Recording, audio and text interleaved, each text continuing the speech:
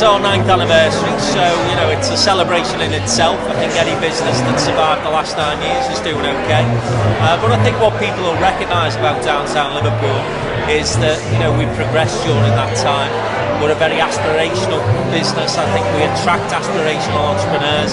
I think the likes of tonight we will see an awful lot of business leaders and decision makers from across the city region here to have a good time, yes, but equally to look out for the next opportunity. And I think that's what makes us different. That's what's distinctive about downtown events from some of our competitors, should we say. And the great thing about nights like tonight is that I think you get bigger businesses in the same room as what you would describe as SMEs or as uh, Emma Dolan likes to describe them, growing enterprises. And again, I think that mix is great for us. It's a unique selling point for us because it means that the smaller companies, not only can they potentially do business with those bigger companies as part of the supply chain, but they can learn an awful lot from those bigger companies as well. So as I say, a bit of a party tonight, but also hopefully a business being done as well downtown is, is kind of known for its, its legendary events. We, we organise a series of events across the, the, north.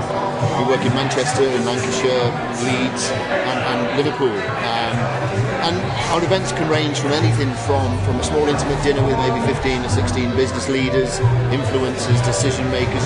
We tend to we tend to hit towards the executive, you know. Um, up to a conference for maybe three or four hundred people. Um, we're, we're, well known for our awards dinners. Um, our, our, acrylic bricks, Frank McKenna's acrylic bricks are well sought after. So we organise the City of Liverpool Business Awards and Liverpool. Uh, Liverpool is, is pretty legendary with 400 odd businesses um, attending, and it's a little bit less formal than say the black tie event that we would hold at the Palm House, which is the Liverpool Business Awards, which is next month. We're pretty heavy on registration to get the right people here. Um, you know, I, reckon we'll have got a, a, good hundred people here celebrating our it's our ninth birthday tonight. So I think probably it's going to be a bit messy. Hopefully.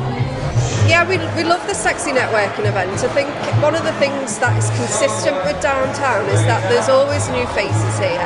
And um, the other most important thing is that it's decision makers that actually come to the event. So we know that when we're here, we're going to be speaking to the people who we can do business with. So really important when we're networking to not waste time. And um, that's why we love the events.